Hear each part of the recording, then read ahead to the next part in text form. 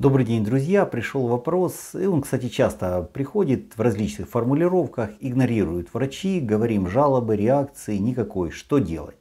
Вот э, сразу напишите в комментариях, как вы думаете, что делать и как вы поступаете в этом случае.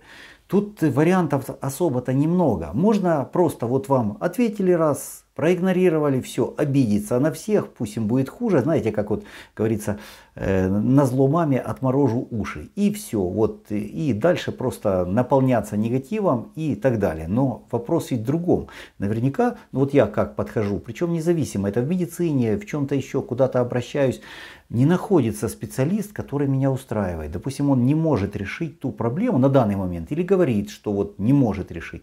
Я всегда задаюсь вопросом, я, меня не устраивает ответ, что все вот невозможно. Я всегда задаю вопрос, как можно это сделать, как я могу. И рано или поздно ответ приходит. И постоянно ищу, не просто вот тупо жду. Да?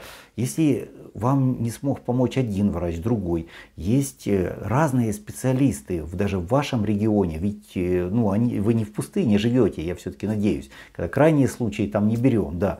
Э, можно поехать, если действительно для вас важна эта проблема, ведь поверьте, это ведь, ну, она важна для вас. Ну, доктор от того, что, как говорится, ну, проигнорировал он вас, и вы потом будете говорить, когда уже лежа, ну, не дай бог, что-то случится, да, а ведь это он же меня Э, ну, проигнорировал, но ему от этого, ну извините, э, ну будет э, не, не так много там беспокойства, а проблема будет у вас. Поэтому это нужно понимать и, соответственно, решать эту проблему. Искать того специалиста, искать, изучать информацию, спрашивать у людей, которые, важно, достигли результата. Не те, которые сидит с палочкой, куча проблем и говорит, вот, вот невозможно, даже не ищи. То есть вы будете делать как он или она и получите вот ровно то же самое а все равно ищите людей, которые решили вашу проблему. Из моего опыта такие люди есть, чего бы ни касалось, вплоть до онкологии. Ну, то есть, если вам нужна это решение проблемы, то есть ищите. Кто, не, кто стучится, тому открывают. Есть, э, по-моему, такая цитата или поговорка. Так именно поступаю я.